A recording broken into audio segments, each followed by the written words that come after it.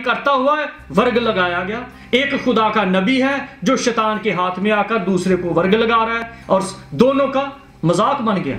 एक मर गया और दूसरा झूठा ठहरा। वो खुदा के सामने गुनागार बन गया। अब हम किस तरह से, मैं इस बात को थोड़ा आपके साथ शेयर करता हूँ कि अगर हम इसको ना मनाएँ और कौन है जो कहता ना मानू तो कितनी उसकी, ये कितनी बिदत? किस तरह की बिदत? कितनी बुरी चीज़, कितना बुरा डेंजरस जहर है जो इंजेक्ट कर रहा है। कि स्लोली स्लोली जिस तरह एक दफ़ा मिर्ज़ा गुलाम अहमद कादियानी ने अपनी एक किताब में लिखा, उसने कहा कि अगर तुम ये साबित कर दो कि जो मसीही हैं, वो मान जाएँ कि यीशु मसीह मुर्दों में से जी नहीं उठा तो ये आप समझ लो कि आपने मसीहत की साफ़ लपेट दी। मसीहत खत्म हो गई।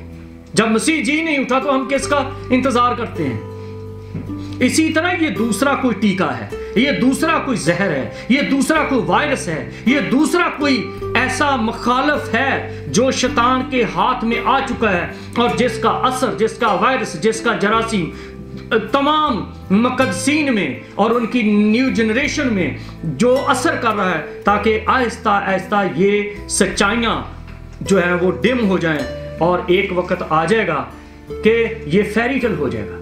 ये मनगढ़ंत कहानी बन जाएगी। यार, जब वो पैदा ही नहीं हुआ तो कौन कब उसका खतना हुआ? जब वो पैदा ही नहीं हुआ, कौन आया उसको सजदा करने के लिए? जब वो पैदा ही नहीं हुआ तो क्यों यरूशलेम के लोग परेशान हो गए? जब वो पैदा ही नहीं हुआ, क्यों हैरोदीस ने इतने बच्चों को मरवा दिया? जब वो पैदा ही नहीं हुआ तो क्यों उसको, वो इजिप्ट को यूसुफ लेकर अपनी बीवी मरियम को चला गया? ये सब झूठ है। जब वो पैदा ही नहीं हुआ तो जरा मैंने ये लिखा है, मैं आपके सामने इसको पढ़ देता हूँ कि सबसे पहली बात जो है, पहला पॉइंट जो है वो ये है कि बादशाहों का बादशाह ना माना जाए, ये किसी की शरारत है। ये शैतान की बात है, ये उसके करिंदों की बात है कि वो बादशाहों का बादशाह ना माना जाए। क्योंकि जो जो मजूसी थे, जो मजीशियन थे, जो इल्म फल्कियात रखने वाले थे जो जो बिलीवर नहीं थे, लेकिन आलम थे, हकीम थे वाइज थे, उन्होंने इस बात को तहकीक किया और वो सोना लेकर आए और वो ढूंढते फिर रहे हैं और आके जब वो उस सितारे की रहनुमाई में आए तो जब वो पैदा ही नहीं हुआ तो सितारा भी नहीं था। जब वो पैदा ही नहीं हुआ तो मजूसी आए भी नहीं और वो अगर आए हैं तो ये बात है कि उन्होंने आके यरूशलेम में पता किया कि वो बच्चा कहाँ पे है। जिसकी जिनकी आवाज़ से हेरोदीस बादशाह भी डर गया। ये आप सारा किस्सा जानते हैं, सारे बात जानते हैं कि ये इल्हाम में क्या है और कलाम में क्या है। बादशाह डर गया, उसके लोग डर गए, उसके जो यहूदी आलम थे वो डर गए। अब वो यहूदी आलम जो है वो तहकीक कर रहे हैं कि किस मसीह की पैदाइश कहाँ होनी चाहिए। तो ये कहा जाए कि कहाँ होनी चाहिए कहा तो इसका मतलब नबी की जो जो नबियों ने, अंबिया असगर, अंबिया अकबर, में जो जो खुदा के रूह ने बात डाली और उन्होंने वो इल्हाम के तौर पे लिखा, हमारे लिए कलम बंद किया, वो भी डिम हो जाए, वो भी रह जाए। और फिर वो जो मजूसी जब उन्होंने सोना पेश किया तो वो इस वजह से हम यीशु को बादशाहों का बादशाह मानते हैं, क्योंकि वो किंग थे। और पुराने दौर में, पहले वक्तों में ये होता था कि जो बादशाह था, बादशाह को एक जंगजू होना चाहिए था। बादशाह को इल्म फल्कियात का होना चाहिए था। बादशाह को जो है वो हर तरह से दूसरों से ज़्यादा स्पीरियर होना चाहिए था। दूसरों से ज़्यादा आलम होना चाहिए था। तो जब इस तरह के बादशाह आए और उन्होंने आके यसु मसीह को सोना पेश किया यसु मसीह के सामने नजराना रखा और यहुआ को सजदा किया, इसका मतलब है कि he is a king of king वो बादशाहों का बादशाह है। अगर हम उसके दिन को नहीं मनाते, उसकी पैदाइश को नहीं मनाते, चलो, हम कहते हैं हम 25 को नहीं मनाते तो कब मनाएँ? ना मनाएँ? यही बात है ना? कि 25 ना मनाओ। अच्छा जी, आप बता दो कौन सा मनाएँ? नहीं नहीं नहीं, मनाना ही नहीं चाहिए। भाई, गौर करो, तुम कहाँ पे हो? ना मनाओ तो उसको बादशाहों का बादशाह भी ना, नहीं मना सकते ना। फिर दूसरी बात में उसको जो लुबान पेश किया गया, जो लुबान है, वो मसीह को जो हाई प्रीस्ट बयान करता है, सरदार कहन पेश करता है। और अगर वो सरदार कहन नहीं तो पूरी कुर्बानी नहीं। तो इस, इसका मतलब है कि लुबान वाली बात भी छोड़ दो क्योंकि पैदाइश नहीं मानेंगे तो लुबान कब नज़र हुआ? जब नज़र नहीं तो वो इल्हाम को भी नहीं मानेंगे कि वो सरदार कहन है हमारा हमारे लिए निजात को कंप्लीट करने वाला है। और फिर उसी पहली बात में अभी पैदाइश पे कि उसको मुर पेश किया गया जो कफन दफन के लिए इस्तेमाल किया जाता था।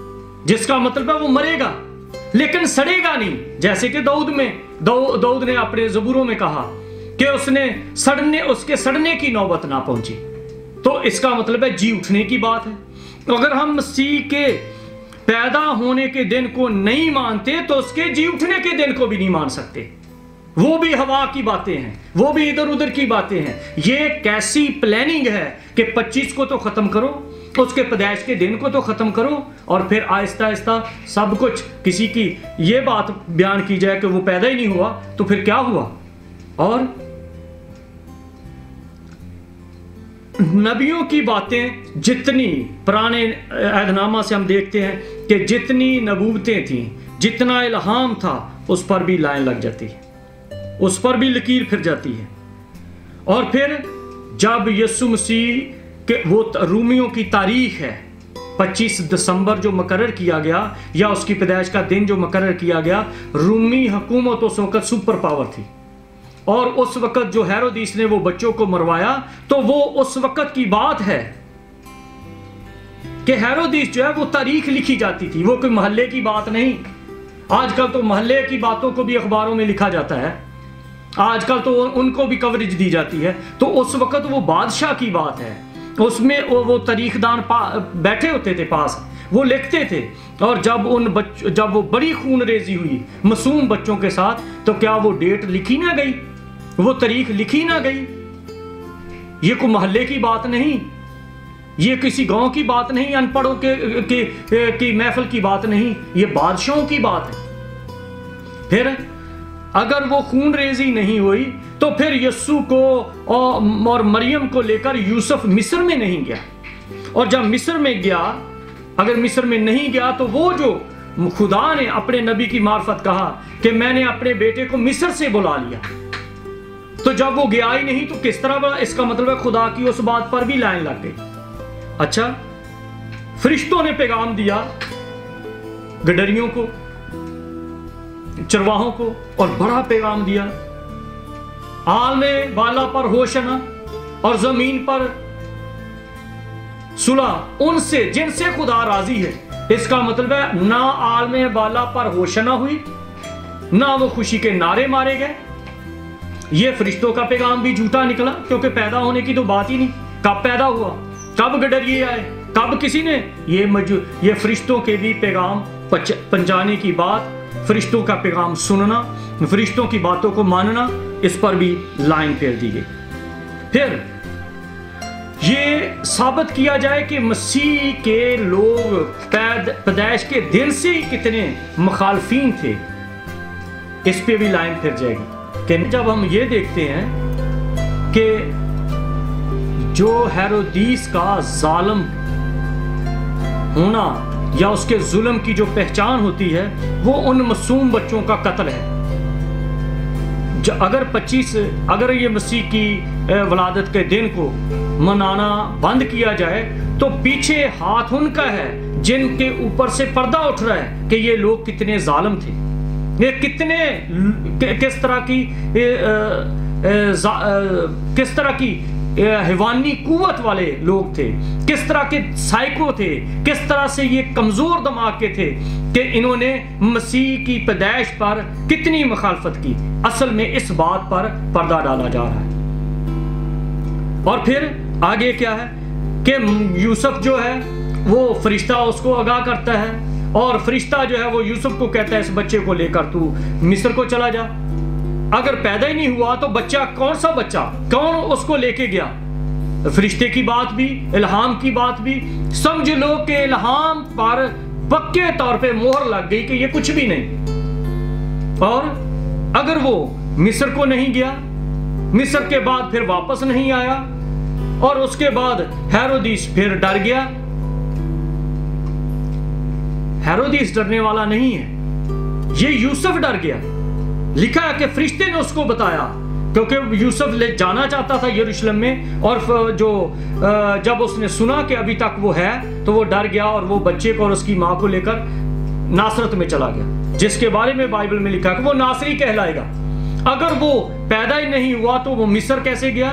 जब मिस्र में नहीं गया तो फिर वो नासरत में कैसे चला गया? अगर वो नासरत में नहीं है तो फिर वो नासरी कैसे कहलाया? ये तमाम बातों का एक लिंक है। और इसके पीछे जो बात बराबर चल रही है, वो है बाइबल को झूठा ठहराना। खुदा के इल्हाम पर कीचड़ अछालना, क्योंकि दानियल की किताब में लिखा है कि वो बासठ हफ्तों के बाद ममसू कत्ल किया जाएगा। जब वो पैदा नहीं हुआ तो उसके बासठ हफ़्ते आप कैसे बना सकते? यसु मसीह ने कहा, आज अगर ये चुप रहे यहूदियों ने कहा, कि सारे बच्चे, सब लोग शोर मचा रहे हैं तो इनको कहो कि चुप हो जाए। तो यसु मसीह ने कहा, अगर आज ये खामोश हुए तो पत्थर चला उठेंगे, क्योंकि उस दिन वो बासठवां हफ़्ता पूरा होने को था। उसी, वो हफ़्ता मसीह का था। वो हफ़्ते को उसी से, उसी दिन से पकड़ा जाने को था वो। तो क्यों ये कहा गया कि तारीख को ना माना जाए? क्योंकि तारीख को नहीं माना जाएगा तो बासठ हफ्तों का सिलसिला भी खत्म हो जाएगा। और मसीह की ज़िंदगी, मसीह की पैदाइश का सिलसिला, सारे का सारा एक ख्याली परियों की कहानियों वाली बात बन जाएगी। और जब परियों की कहानियों वाली बात बन गई तो ये जरा अंदाज़ा करो, आज भी कोई किताब, कोई बादशाह, कोई वज़ीर, कोई वाक्य, उसका तारीख, उसकी तारीख खत्म कर दो तो वो समझ लो कि किस्सा तमाम हो गया। वो तारीख अगर खत्म कर दी तारीख जो है वो ही मसीहत की जड़ है। तारीख से ही जिस तारीख सच्चाई को साबित करती है। और रूमी हुकूमत उस वक्त की सुपर पावर थी। और रूमी हुकूमत सुपर पावर थी और मसीह का जो सारा जो आ, अमल दखल है जो उसकी कुर्बानी का उसके कत्ल का उसके मारे जाने का उसके पैदा होने का सलीब पर चढ़ाए जाने का मुर्दों में से जी उठने का ये सारे का सारा अमल दखल तारीख पर है। और जिस तारीख के पीछे रूमी हुकूमत है और रूमी हुकूमत के पीछे उनका उस, उनका मज़हब नहीं है क्योंकि वो मज़हब को जानने वाले नहीं थे उनका एक अपना मज़हब था वो यहूदी नहीं थे। इसलिए उन्होंने यहूदी ना होने के सबब से अपनी बादशाहत को कायम रखने के सबब से ये तमाम वाकयात लिखे। क्योंकि मसीह का नबी के तौर पे लिखा नहीं गया, मसीह का एक बागी के तौर पे लिखा जा रहा था। और आज भी जो बागी होते हैं, जैसे बिन लादन की बातें हैं, जैसे और लोगों के जो हुकूमतों के खिलाफ हैं, उनके वो बागी तौर पर, बागियाना रवैये की तारीख लिखी जाती है। और उनको लाजमी तौर पे लिखा जाना चाहिए था, ताकि लिख कर बताया जाए, फला के दौर में, फला वक्त ऐसा हुआ, आइंदा से अलर्ट रहो ताकि ऐसे लोग दोबारा पैदा ना हो, ऐसे लोग दोबारा से रोनमा हो, ना हो, ऐसे लोग दोबारा से अबतरी पैदा करने वाले ना हो। तो इसलिए मेरे दोस्तों टाइम जो है, बड़ी तेज़ी से गुजर रहा है। टाइम बार बार इस बात की आगाही देता है कि होश के नाखन लें। हम घर किसी की बातों में ना फंस जाएँ। जैसे वो पंजाबी में कहते हैं, जिन्हें लाया गली, ओदे टुर चले। जिसने बात की, इतने सालों से मना रहे हैं, आज भाई वो कह रहा है, ना मनाओ। अच्छा भाई जी, बताइए क्यों ना मनाए? इसमें तेरा मफाद क्या है? इसमें तेरी हिकमत क्या है? इसमें तेरा क्या शौर है? इसमें क्या तेरी अकल है? तू जो, ये जो बाईस सच्चाइयों पर तू पानी फेरना चाहता है, इसमें तेरा क्या लोभ है? इसमें तेरा क्या मुनाफा है? इसमें तेरा क्या लालच है? अगर कुछ भी नहीं है तो ये देख कि यहूदी रवायत और जो दुनिया के वाइज लोग थे, जिनकी हुकूमतें निकली, तहकीक की गई, ये खुदा का कलाम जो है, ये बजाते खुद एक मौजा है। खुदा का कलाम बजाते खुद एक सच्चाई है। अगर